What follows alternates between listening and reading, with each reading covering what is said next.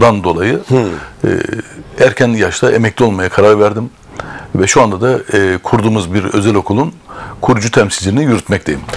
Yani eğitimcilik bitmedi daha. O Aynen, devam, devam ediyor. ediyor, aynen. Ama e, şöyle söyleyeyim. Yani görev yaptığınız ilçe e, Cuma günü yine e, çok değerli bir aday adayı dostumuz vardı. Ona da söyledim. Yani Konak'tan aday adayı olanları ayrıca kutlamak lazım. O riskleri bu kadar fazla, e, dezavantajları bu kadar fazla ve sorunu bu kadar fazla bir ilçeden çıkıp da ben belediye başkanı e, olmak istiyorum demek bence her yiğidin harcı değil. E, şimdi sizi eğitimci, eğitim yöneticisi sıfatıyla konağı o yıllardan bu yıllara sürekli mercek altına alıyorsunuz. Tabii tabii. Ee, fakat bitmiyor dertler. Yani 200 yıldır aynı mahalleler, aynı fukaralıkta. Evet. Ee, yani bir türlü bir kıyıyla çeperlerin e, şöyle bir ortak e, pek yok. Köprü kuramadık. Yok kura- yani bir şey olamamış. Sizin bakışınız nedir? Yani belediye başkanlığı e, bence sadece çöp toplayan bir yerde değildir ama sizin bakışınız ne? Böyle bir background'unuz var. Sanırım farklı da bir yansıması olur bu. Evet. Şimdi Hasan Bey ben şöyle düşünüyorum. Ee, belediyecilikte e, yani ne yapmam gerekir diye tabii bunu da kendi kendimize soruyoruz. Neler yapmamız gerekir diye. Bir sürü kafamızda e, proje var, çalışma var. E, bunların içindeki en böyle e, maksimum bizi e, mutlu edecek, vatandaşı mutlu edecek çalışmalardan başlamak istiyorum. Öncelikle bu bir.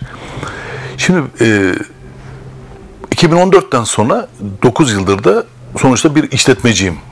Yani bir T cetveli düşünün. Geliri var, gideri var. Tabii ki.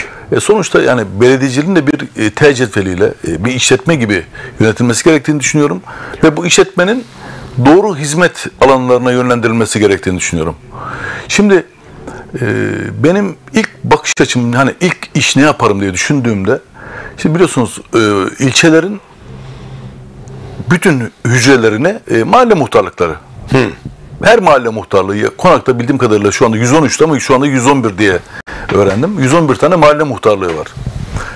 Benim birinci önceliğim bu 111 mahalle muhtarlığıyla ve oradaki vatandaşla e, o mahallede örnek veriyorum e, Kadriye mahallesinde.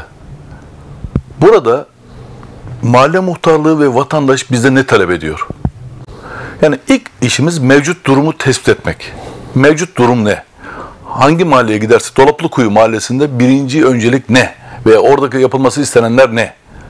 Bunları A'dan Z'ye belirleyip önce ihtiyaçları belirleyip daha sonra bu e, hep beraber e, bu ihtiyaçları biz karşılayabilir miyiz? Karşılayamayız. Hani karşılamayız mıyız? Yani bunu e, görmemiz gerekiyor.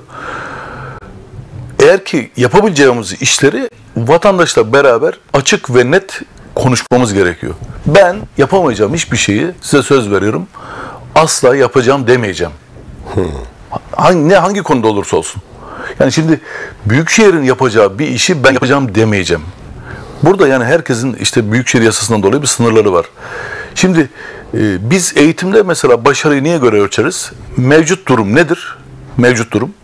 Mevcut durumdan biz ne kadar ileriye mesafe yol aldık bir öğrencide, bir insanda, bir insan eğitiminde? O aradaki geçen e, uzaklık bizim başarı ölçümüzdür. Biz e, işte 111 mahalledeki e, mevcut durum nedir? Burada bizim yapacaklarımız nelerdir deyip iyi bir analizle doğru bir planlamayla bütçeyi doğru kullanarak e, hizmet ederek e, yol almak istiyoruz. Başarılı olmak istiyoruz. Peki yani Alsancak'ın ya da ne bileyim Güzel Yalı'nın e, işte e, Karataş'ın beklentileri farklıdır. Çok doğru. Biraz önce sizin buyurduğunuz e, işte Eşref Paşa, Yaneler, e, Aynen. Kadriye, Kaynak, Gültepe'nin mesela Gültepe bugünlerde hop oturuyor hop kalkıyor. Bir kentsel dönüşüm bir türlü işin içinden çıkılamadı. Yeşildere ona keza. Yeşildere'de insanlar e, bir beklenti içine gir- girdiler. Çıkamadılar ama devasa bir inşaata da tanıklık ediyorlar şu anda bir sermaye inşaatına. Şimdi burada belediye nerede yer almalı Alaaddin Hocam? Yani e, ben bilmiyorum. Yani İzmir'in tarihine baktığımda sanki bütün imkanlar hep İzmir'in kıyılarına gitmiş. Biraz çeperler yok sayılmış. Oysa tarih orada. Evet. Bugün Basmane Suriyelilerin e, göçleriyle ya da Ganalıların göçleriyle ki bu 2016'dan sonra yerleşiğe dönmeye başladı ciddi olarak. Demografik yapı değişmeye başladı. Ama İzmir'in kalbi orası. Evet. Yani karma karışık bir olay var e, şeyde. Belediye burada nasıl bir planlama yapacak? Siz biraz önce muhtarlar dediniz ama bir de belediye meclisi var. Evet. Yani orada da değişik kültürlerden, değişik çevrelerden insanlar var. Şimdi şöyle bu tabii kentsel dönüşüm olayı her çıktığımız e, programda bize sorulan, e, sorulan bir soru. E, benim bakış açım şu. Bizim e, sosyal demokrat bir e, cumhuriyetçi, Atatürkçü bir insanın bakış açısının önceliği insandır. Biz öncelikle e, hiçbir insanın huzursuz olacağı hiçbir projeye ben yanaşmam. Benim buradaki o, o mahallede oturan, o çeperlerde oturan vatandaşlarımız kimse benim onlara öncelikle benim başımın tacı onlardır. Ben onların e, huzursuz olacağı, onların çıkarlarının bir ranta dönüşeceği hiçbir olaya eşlik etmem. Onun haricindeki e, olayın e, bilimsel yani yani işte deprem bölgesidir, kayma vardır, odur, şudur, budur. Bunlar işte biliyorsunuz Yeşildere'de bir e, şöyle söyleyeyim Atatürk maskının karşısındaki bölgeden e, ilk Yeşildere'nin başlandığı tarafa kadar olan bölgede bir heyelan sorunu vardı. Yaklaşık 8-10 yıl önce e, o bölgeler boşaltıldı ve şu anda oraları yeşil alan olarak kaldı. Tabii, orman, kent ormanına çevrilecek. Bilim dedi ki arkadaşlar burası dedi işte bir orman olsun burada e, konut olmaz dedi. Yani bilim ne diyorsa biz onu dinleyeceğiz. Onun haricinde e, Konak'ta e, dediğiniz gibi Basmanesi, işte Kadife Kalesi, Çimentepe'si çok ciddi bizim yani İzmir'in en özel bölgeleri aslında buraları. Şöyle bir olay anlatayım size Hasan Bey. Geçen e, 3-4 gün önce saat 8.30-9 gibi yani biraz geç saat yani Kemeraltı için geç bir saat tabii. Kemeraltı'na şöyle bir dolaştım. İnanır mısınız o kadar muazzam binalar var. Tabii. Yani insan gözden alamıyor. Ama aynı sokaktan biz gündüz geçtiğimizde o güzellikleri göremiyoruz. Çünkü niye? Her taraf Çok bir doğru şekilde bir donatılmış. Her taraf donatılmış. Her taraf bir şekilde işte levhalarla, şunlarla, bunlarla, işte çantalarla, şunlarla, bu- gereksiz bir şekilde yani o o güzelliği biz yaşayamıyoruz. Yani şimdi e, bizim bir kere bunları vatandaşla buluşturmamız gerekiyor. E, şimdi e, biliyorsunuz benim zaten görev yaptığım e, alandan da bu bölgeleri çok iyi biliyorum. Ben o zamanlar e, 2000 3-4 yıllarında rahmetli Priştine döneminde e, şey benden Büyükşehir Belediyesi e, yaklaşık 50 veya 100 öğrenci istedi şeye. E, bir Fener Alayı için 29 Ekim Cumhuriyet Bayramı'nın Fener Alayı için. O zamanki e, işte e, ilgili idareciler benimle görüştüklerinde ya ben dedim ki 50-100 öğrenci çok az. Ne hocam ne kadar olabilir? Yani o kadar çekiniyorlar ki. 5000 öğrenciyle biz e, Fener Alayı yaptık. 5000 öğrenciyle. 5000 öğrencinin e, işte örnek veriyorum 50 tane okula e, 100'er öğrenci paylaştırdık. 5000 öğrenciyle Fener Alayı yaptık. O çocuklar geldi. Belki ilk defa o sahile inen çocuklar oldu. İşte Ataya saygı koşuları yaptık ona keza. E, o çocukların hepsini sahile e, yani buluşturduk. Şimdi e, Ama ne güzelmiş ya. AK Partili, CHP'li ayrımı yokmuş o zamanlar. Müdürlükle belediye birlikte çalışabiliyormuş yani. Ya şöyle zaten biraz da tabii o zaman AK Parti'nin yeni iktidara geldiği yıllardı. Ee, bizim Milli Eğitim Müdürlüğü de biraz çekindi yani hani bunu vereyim mi vermeyelim anlamında. Ben bana ulaştılar onun için bana ulaştılar. Ben de kesinlikle dedim ki, yani ne demek yani? Sonuçta arkadaş Doğru. bu ülke hepimizin ülkesi. Sonuçta biz farklı siyaset kulvarlarında olabiliriz. Zaten Hasan Bey e, ben devletteki e, işimi yürütürken asla kapıdan giren insanın din, dil, ırk, cinsiyet, mezhep ayrımına bakmam. Siyaset ayrımına bakmam. Olmaması Bu lazım bizim yani. bu Doğru bir olan bu. insanın kendi Tabii ki, yetersizliğidir. tabii ki. Bakın bir insan eğer ki bunları kriter olarak alıyorsa şimdi biz burada belediyecilik e, işte nasip olursa bize bu görevi yapacağız. E, biz bu görevi yaparken yani şu mahalle şu bu mahalle bu böyle bir şey olabilir Ya da size oy versin Ya vermesin olmaz öyle bir yani. şey olmaz. Doğru. Yani oradaki her insan bizim bizim başımızın tacıdır. Çünkü mahkeme bile kadıya mülk değil. Hepimiz bu görevlerden gelip geçeceğiz. Dün olduğu gibi bizden öncekiler geldi geçti. Biz görev alırsak bizden de gelip geçecek. Peki ilçe belediyesini araştırmışsınızdır Evet. mutlaka, incelemişsinizdir. Evet. Konak Belediyesi'nin bütçesiyle gerçekten bir şeyler yapılır mı konağın bu kadim sorunlarına? Yani şöyle e, ben yapılabileceğini düşünüyorum. Ne Bir anlamda? de ekonomik krizin bir Tabii, dayatması tabii, var tabii. yani. Aynen aynen. Ya yapılabileceğini düşünüyorum. Şimdi hani rahmetli babamın bir sözü vardır. Gelin halına göre salın der bize.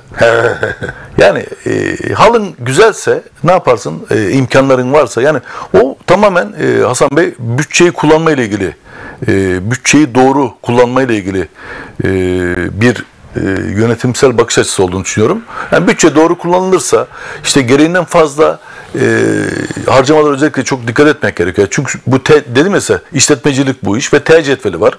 Bu T cetvelinde bizim gelir ve gider dengesini çok iyi yönetmemiz gerekiyor. Yani buradaki giderlerdeki işte e, insan kaynaklarına ne kadar bir bütçe ayrılacak ne bileyim elektrik, su, temel giderler ne, stopaj, kira vesaire gelirlerden e, göre planlanacak artan kısım doğrudan e, doğru yatırımlara onun için söyledim ya size o hücrelerdeki her mahalledeki doğru yatırımları bizim tespit etmemiz gerekiyor. E, ve ona göre davranmamız gerekiyor. Örneğin benim oturduğum bölge Küçükyalı bölgesi, Göztepe bölgesi. O bölgede e, çok ciddi anlamda bir yaşlı nüfus var. 65 veya 65 üzeri yani bir kişi iki kişi yaşayan evlerde insanlar var. E şimdi bu insanların da sorunu var. Sorunları var. Şimdi mesela oradaki çok dik sokaklar var. Ben biliyorum. Mesela belediyeler daha önceki belediyelerimizin yaptığı belediyemizin yaptığı e, işte yürüyen merdivenler var bazı noktalarda. Mesela bunlar artırılabilir mi imkanlar ölçüsünde? Artırılabilir. Çünkü niye?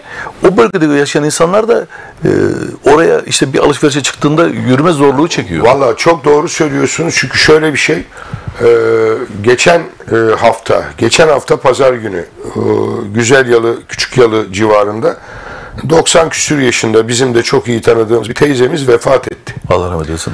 E, ve sadece bu dünyada bir yeğeni var. Başka kimsesi yok. Ya. Ee, cenazesi öyle sorun oldu ki yani işte e, gömüleceği yer Ya. mesela İzmir'de çok fazla sorun var şu anda Hem mezarlık yeri anlamında bir de pandemide bu yaşlı nüfusa belediyelerimiz sağ olsun o dönemde e, böyle evlerine kadar her türlü hizmeti götürdüler. Yani Konak Belediyesi de Büyükşehir Belediyesi de yaptılar. Fakat pandemiden kurtulduktan sonra o yaşlı insanları alıştırdığımız ilgi biraz geriye çekilmiş. Ben öyle enteresan şikayetler alıyorum ki o dediğiniz yerlerde hatta şöyle de bir örnek vereyim oraları çok iyi bilirsiniz. Bu e, Susuz Dede'nin Evet. arka tarafında aşağı bu Özel Türk Koleji'ne giden Evet. dik dik yerler vardır. Orada yaşayanlar korkuyorlarmış artık sokağa çıksınlar. Ya. Yani bu söylediğiniz çok güzel bir şey aslında. Bunu da açmak gerekirse mesela neler yapılabilir? Ya işte örnek e, mesela e, şimdi dedim ya Hasan Bey aslında İzmir'in hep yani bizim konağın her bölgesinin ayrı sorunları var. Çok Mesela doğru. o bölge için ne düşünüyorum ben? Mesela o bölgedeki e, bir yaşlıyı düşünün e, musluğu bozuldu. İnanın şu anda yani e, aramayla muslukçu şey sığ tesisatçı bulamıyorsunuz. Elektrikçi bulamıyorsunuz. Yani ötelemeler vesaire vesaire. Şimdi geleceğim, yarın geleceğim gibi gibi. Yani mesela ve akşam belli bir saatten sonra 5'ten sonra hani belli bir kendi bünyemizde nöbetçi işte e, sığ tesisatçı, nöbetçi, elektrikçi, nöbetçi mesela televizyon işte e, tamirini yapabilecek birisi. Yani ne belli insanlara bu bölgelerdeki insanlara alo denen insanlara bizim ulaşabilmemiz gerekiyor. Sizin çıkış noktanız sosyal dayanışma gibi Ben geliyor e, bana. Ben şöyle e, yani şimdi şöyle ben tabii dersime çalıştım. Ne anlamda çalıştım? Büyükşehir yasası işte e, belediye e, belediye kanunu